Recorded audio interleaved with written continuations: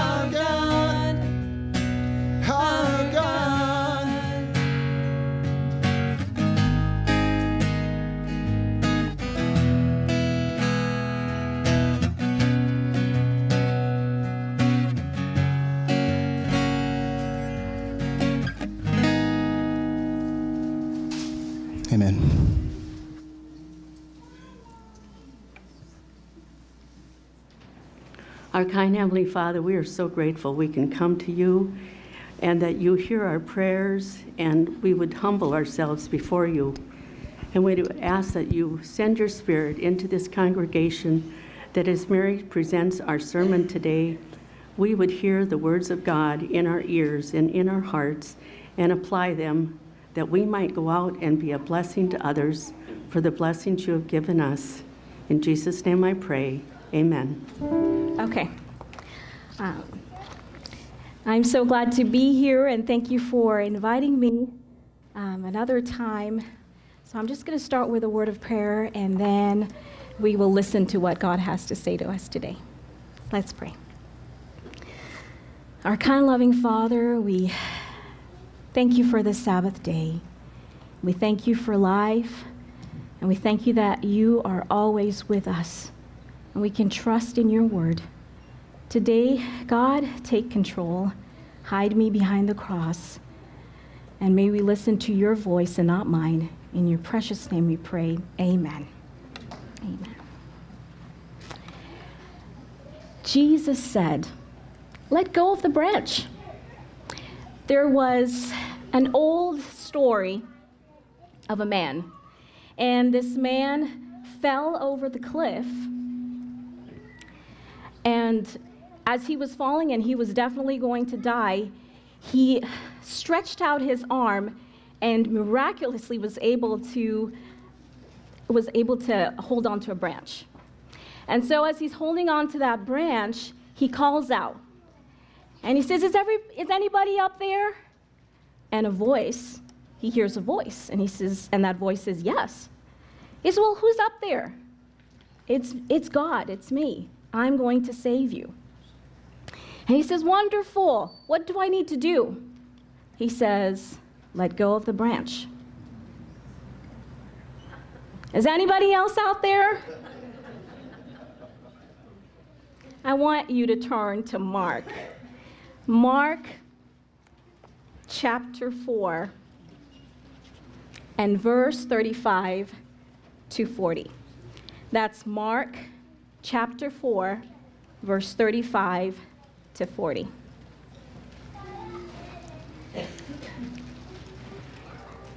March, not March, Mark chapter 4, verse 35. Jesus said, listen to what Jesus said.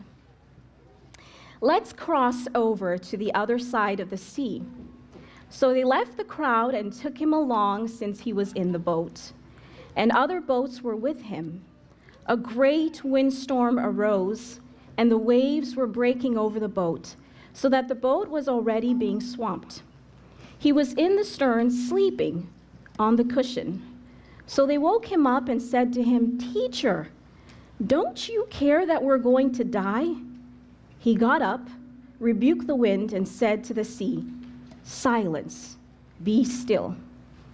The wind ceased, and there was a great storm. Then he said to them, Why are you afraid? Do you still have no faith?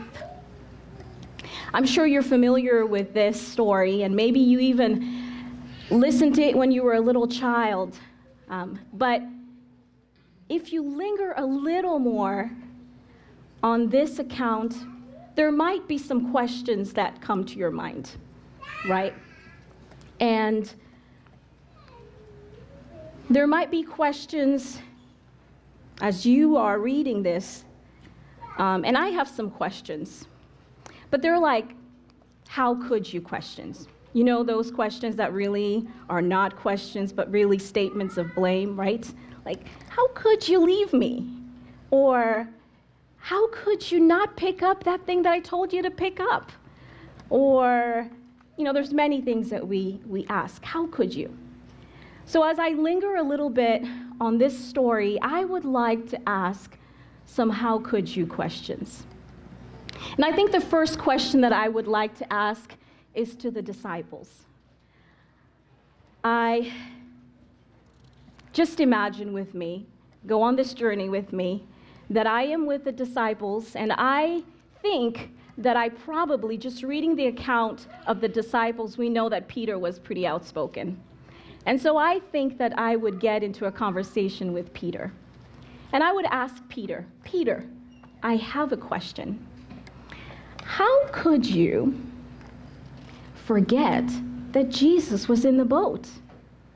Well, I think probably Peter would say to me, Well, we're men of the sea. And so, as men of the sea, when the storm comes, we do what we know what to do. Or maybe he would say something else. Maybe he would say that the storm was happening and they had been trained. They had actually been on the sea for since they were little. And so as the storm was starting, they did what they were trained to do, right?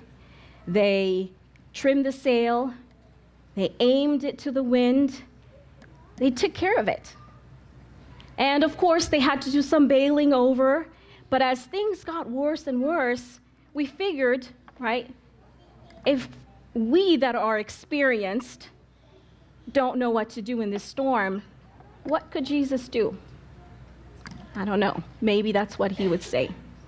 But I actually think that this is probably what Peter would say to me. He probably would say that as the storm started to happen, they did everything that they could do. And it got worse and worse and worse. And as they were frantically trying to save their lives and doing all of that, that in that midst and frantic, franticness, they forgot that Jesus was in the boat. I think that's probably what he would have said.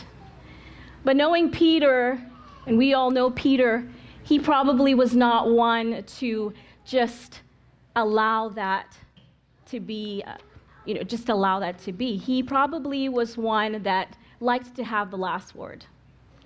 And he would look at me and he would say, You know, Mary, I don't really like the tone of your question. How could I forget that Jesus was in the storm? Well, I want to ask you a question. Remember when you were flying to go to South Africa and you were on the plane and suddenly there was a lot of turbulence? And it was so bad that the flight attendant said that everybody needed to sit down and fasten their seatbelt. You remember how you were feeling? You remember your heart beating? You remember gripping to the armrest, praying God that you wouldn't die. You remember that? You remember swallowing hard because you couldn't even breathe? What happened, Mary? Do you not believe that Jesus flies Emirates? Hmm. I'd look at him and I would say, okay, you're right. Let's just agree that I'm not going to ask you any questions and then you don't ask me any questions, okay? Because the truth is, I guess both of us have sometimes forgotten that Jesus is in the boat with us. Yeah. But I want to continue with a second question. And this question I want to ask to Jesus. But remember, it's a how could you question. And I want to be respectful because he is our Lord. But I still would like to ask one question to Jesus. I'd look at Jesus and I would say, Jesus, how could you sleep in such a storm? And maybe Jesus would say to me, Well, you know I'm a deep sleeper. Maybe. Maybe he would say that. Or maybe he would say, Mary, read the account. It was a very busy day. There were lots of people around, and I was teaching, and I was preaching, and I was healing, and I was tired and exhausted. And by the time I got into the boat and my head hit that cushion, I was out. I don't even think if the boat sunk, I would have woken up.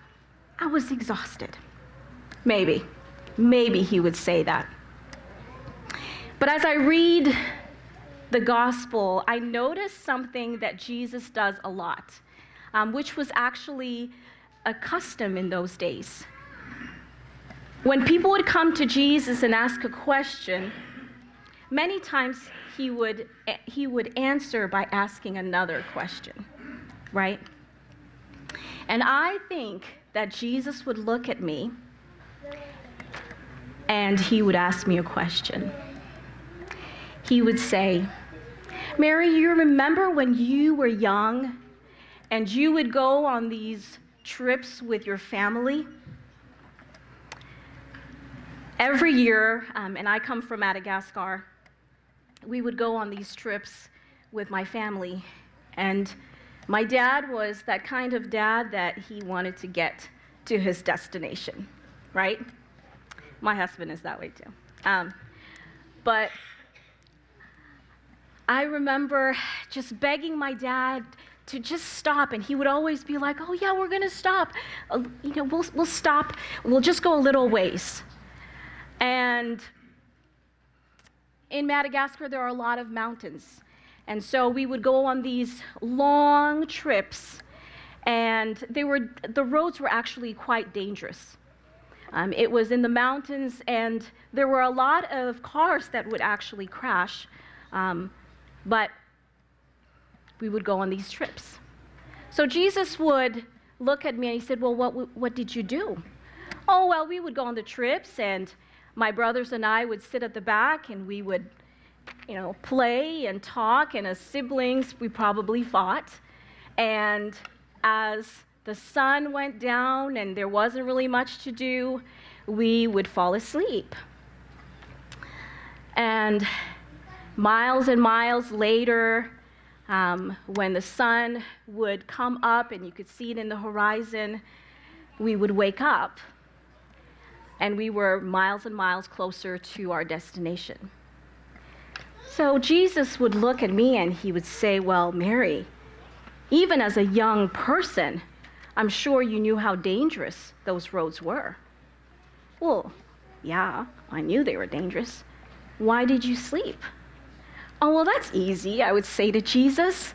My dad, he's a really good driver. And, and so I trusted him. And Jesus would look at me and he'd say, Yeah, mine too. He's a great captain of ship and of seas and of souls. I feel like I could end here, but as I look at you guys, you probably maybe have a how could you question for me. How could you say that we just need to stay and be at peace and that we could rest in His providence? You don't know what I'm going through. You don't know how hard this year has been for me. You don't know that I might be struggling with cancer or some kind of disease. My spouse may be dying. I'm not talking to my kids. You don't know. How could you say that I just need to be at peace and rest in His providence?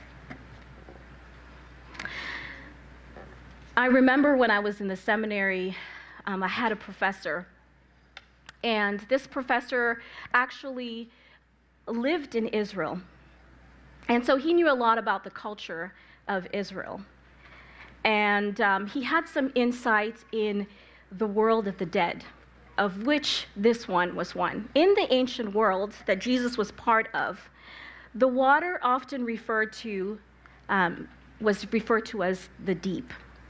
And it was thought that it was the abode of chaos, of darkness, of evil. And the disciples, they were part of this world. And in fact, they might have even really believed in that. And so you understand that that day when they are in that storm, they not only were physically in that storm, but because of what they believed, that they probably believed that it was they were in the depths of evil and darkness. It was a clash of titans. It was a war of ages. It was the conflict between good and evil. It was a time of uncertainty and a time of chaos and war. As I shared last time, that we were living in Congo Democratic, and my family had decided that we were going to stay, but it got so bad that we had to cross the river.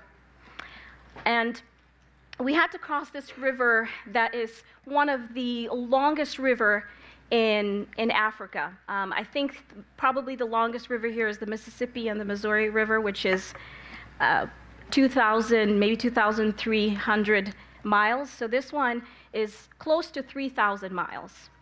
Um, and it is one of the deepest rivers in Africa. The situation was so bad that we had to cross. And we got into this boat, and it was crammed. It was probably a boat that held 100 people, but there were more like 300 people on that boat. And we started to journey to Congo Brazzaville, which borders Congo. And we got to the other side, getting away from that storm. we got to the other side and we were greeted by a pastor. And that pastor took us to where we were going to stay. And for a year, the sea was calm. It was really just calm. But unexpectedly, a storm came into our lives. The rebels that had been in Congo were now in Brazzaville. And they had taken siege of Congo Brazzaville. And we were stuck at home. All we could hear were bombs that were being dropped. And we could not leave the house. We were living with a couple of missionaries, and as the war started to get worse and worse, um, and there were large shells now that were blasting through our house. And I remember, I remember having to at night go under my bed because it was so dangerous. You could not sit in a chair. Um, and I just remember praying under my bed and asking God to protect us. But it had gotten really bad, and our house was being destroyed by, um, by, by the shelling. And the families, the missionaries, had gotten together, and we had to make a decision. And so, as a family, we decided that we were going to um, go back to that river that we had crossed. And I remember my father talking to, to us and, and telling us that we were going to make this dangerous journey. And he had some money with him, and he, he um, gave each one of us some money that we would hide in our shoes. Because what happened was the rebels had taken over, and they were everywhere. And as you would go from, there would be checkpoints. As, as, you would go from one checkpoint, they would stop you and they would take all your money. But we needed money in order to travel to the other side of the river. And so my parents said, Keep this money in your shoes and don't say anything.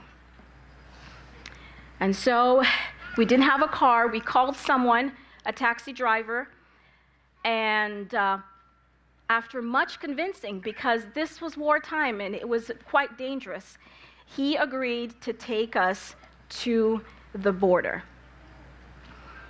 And so we got in the car and we started to drive. And just a few miles as we drove, there was a checkpoint, and there were lots of rebels there. And they stopped us. And all of them surrounded our car and they said, Get out of the car. And so we all went out of the car and they were like, What are you doing here? Do you not realize that it is dangerous? What are you doing out here? And so my dad prayed and he said, We are missionaries and we are wanting to go to the border. Are you crazy? Do you not realize that people are dying everywhere and you are wanting to go to the border? No, you're not going anywhere. Give us all your money. And so my dad had some money in his pocket. and he took that out and he said, This is the money that I have. And he said, He took the money. Um, and one thing you need to realize is that um, these were rebels but it was very difficult to be in a war.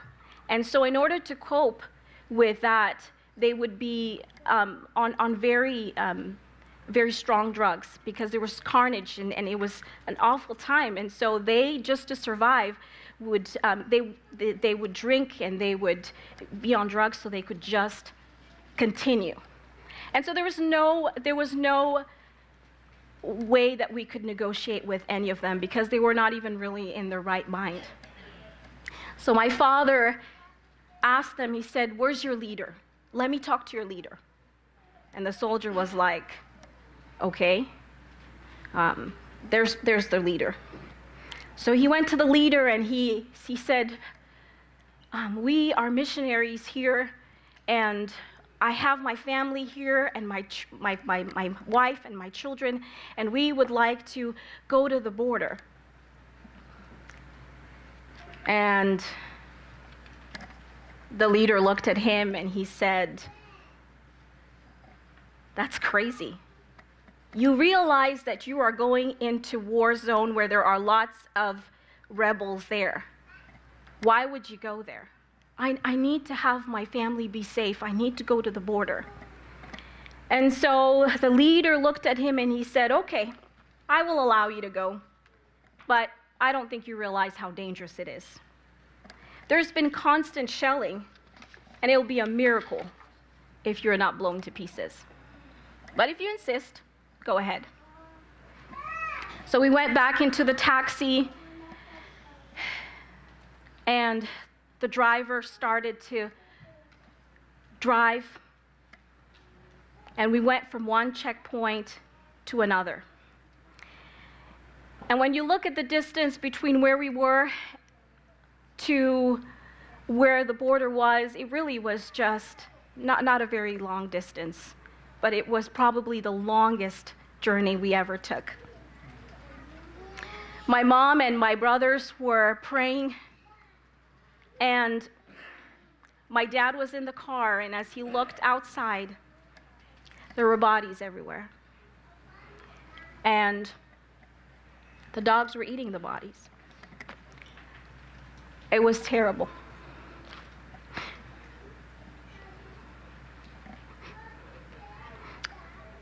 But a verse came to my father's mind, and he's remembered Psalms 91. He who dwells in the shelter of the Most High will abide in the shadow of the Almighty. I will say to the Lord, my refuge and my fortress, my God, in him whom I trust. You will not be afraid of the terror by night, or of the arrow that flies by day, of the pestilence that stalks in darkness, or the destruction that lays waste at noon. A thousand may fall at your side, and ten thousand at your right hand, but it shall not approach you. You will only look on with your eyes and see the recompense of the wicked. For he will give his angel charge concerning you, to guard you in all your ways. Because he has loved me, therefore I will deliver him. I will set him securely on high, because he has known my name. He will call upon me, and I will answer him. I will be with him in trouble.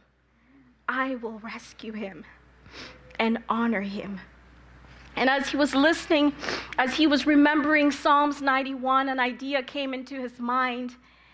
And he was thinking, how am I going to get to the border? And he remembered that there was this pastor that was from the tribe of the rebels.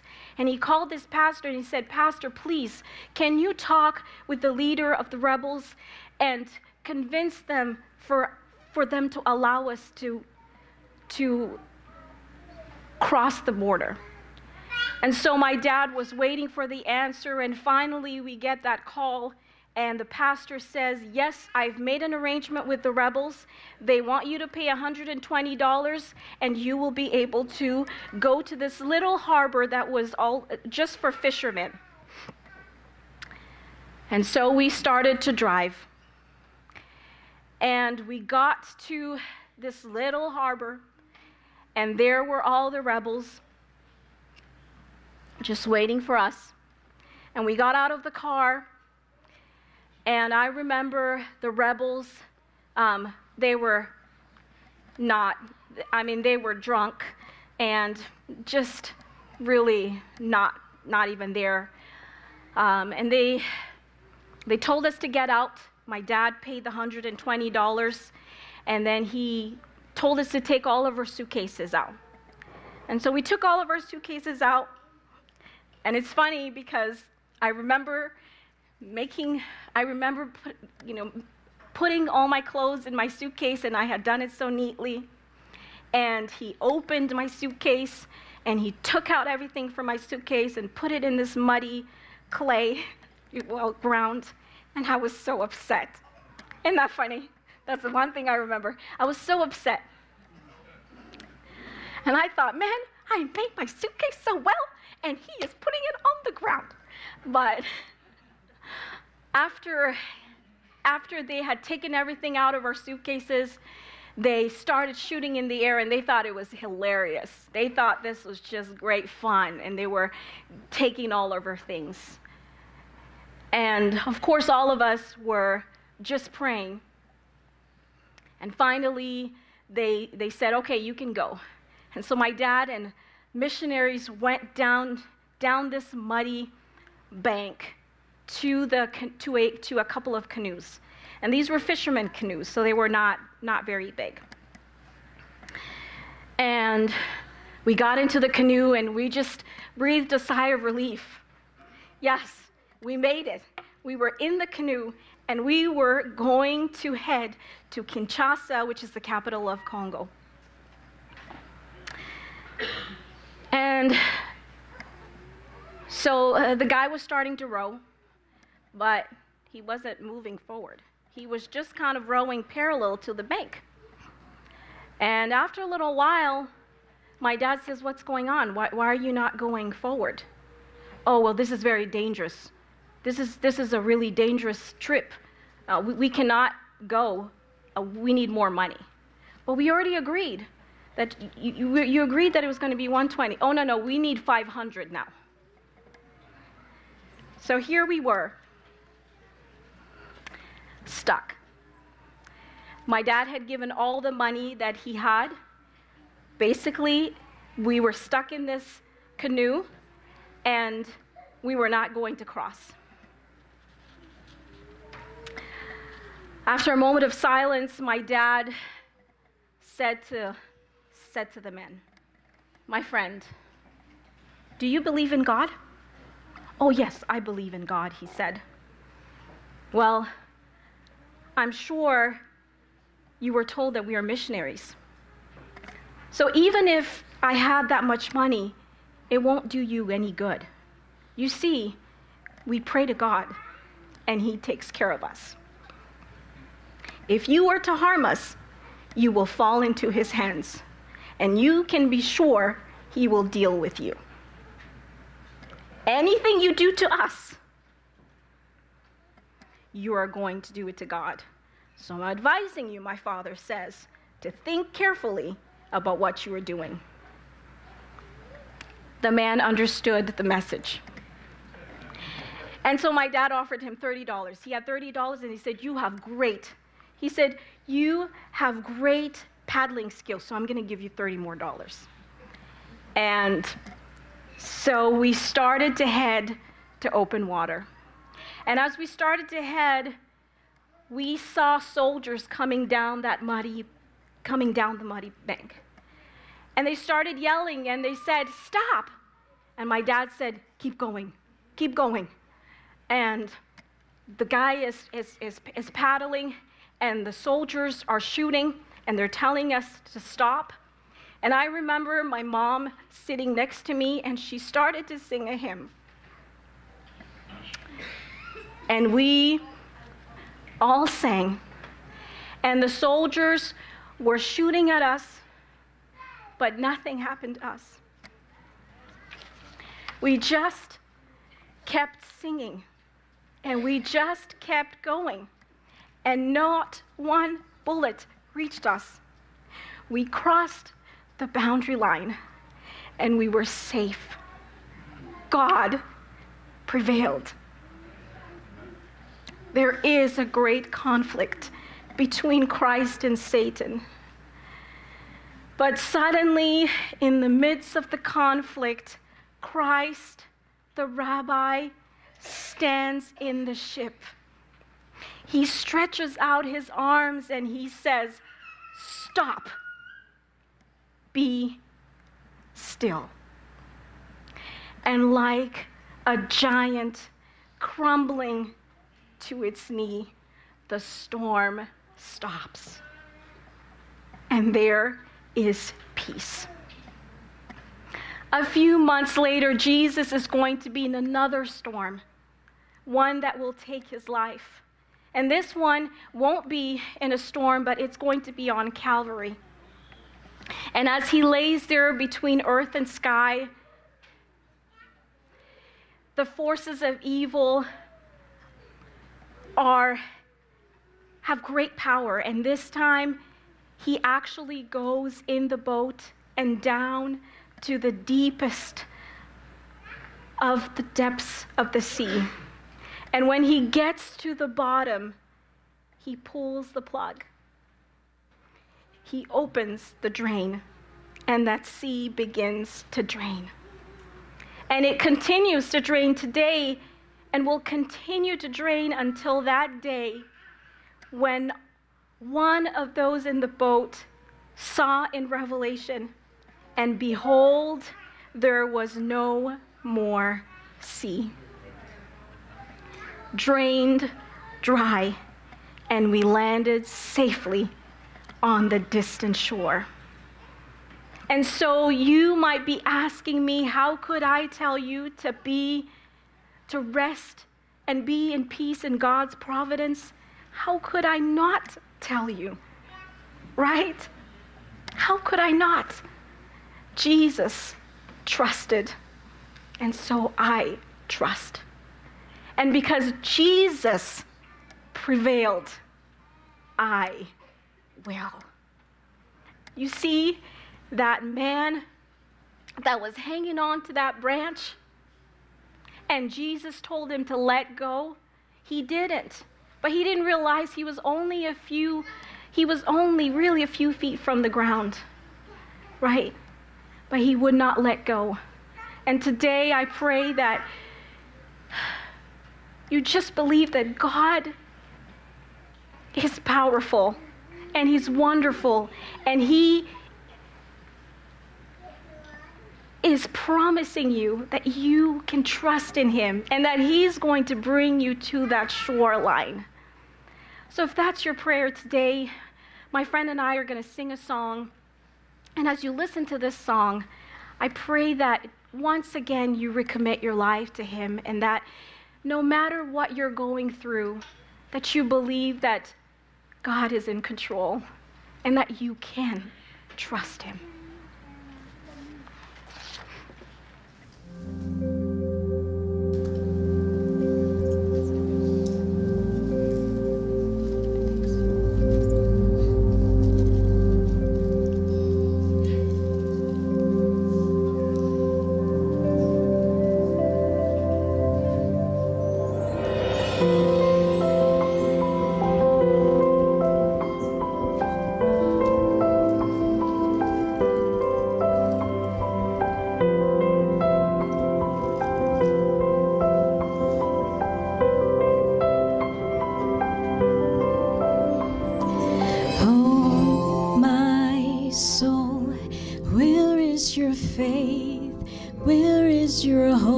That's to come? Oh, my soul, why do you doubt?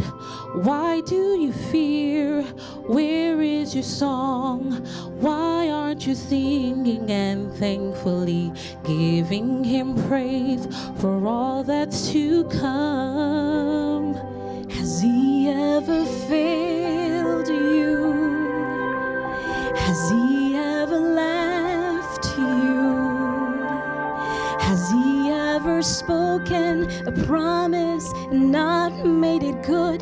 Never has, he never will, he never would. Look back and remember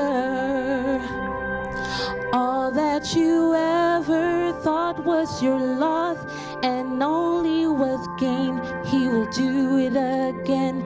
He can do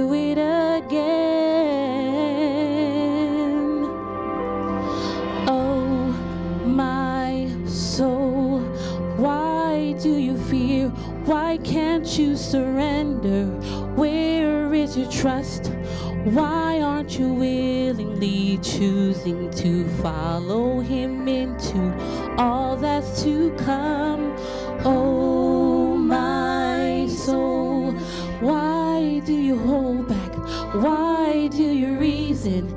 Haven't you seen that in every season he's been there and still now he's with you in all that's to come? Isn't he faithful? Can you not trust him? Isn't he kind? And all that he's allowed has always worked for good. You can't only imagine my soul, you can't even fathom all that he's planned and all that's in store for his promise is true and his word is secure. So let faith rise over your fear. Remind yourself of all of the years you have seen his hand. He has brought you through.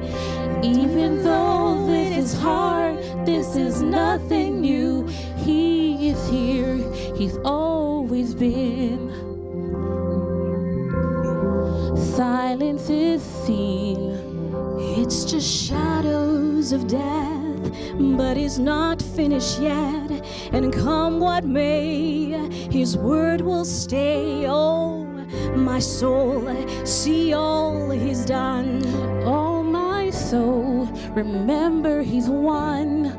Oh, my soul, his kindness remains. Oh, my soul, lift up your praise. The story's not over. He isn't finished. Tis so sweet to trust in Jesus, just to take him at his word, just to